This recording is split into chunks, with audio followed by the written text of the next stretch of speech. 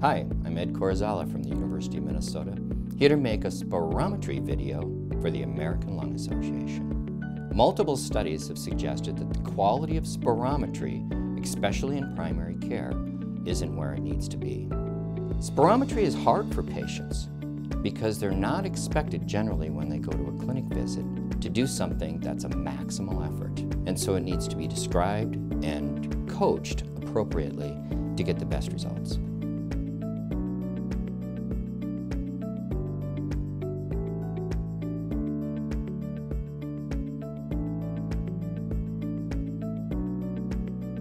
Patient should sit upright, and we want to explain to the patient as we go. All right, Elizabeth, we're going to do spirometry today. Now we've already measured your height, and we've entered it into the computer.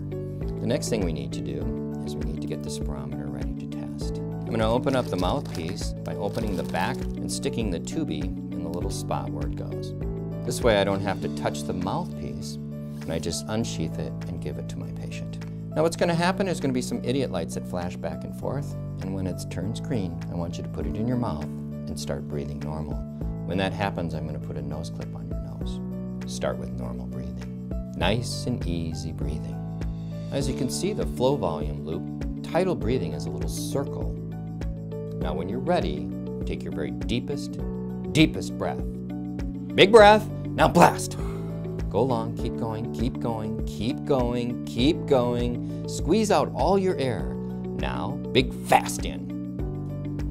We need to coach the patient to make sure they get all of their air out. Excellent. We need the patient to breathe out for a minimum of six seconds.